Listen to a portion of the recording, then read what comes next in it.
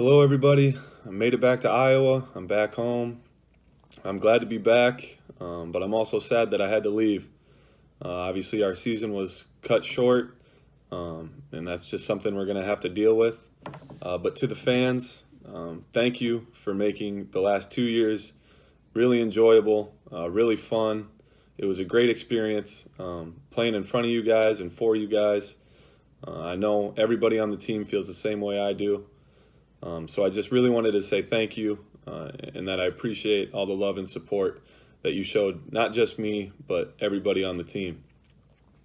And uh, to the to the players and the management, it was a good time. I'm gonna miss you guys. Um, hopefully, we'll see each other again. Maybe, maybe not. Nobody knows what the future will hold, but uh, hopefully, our, our paths cross and and and uh, we can keep in touch. So everybody back in the Czech. Stay healthy, stay safe. We'll see you soon.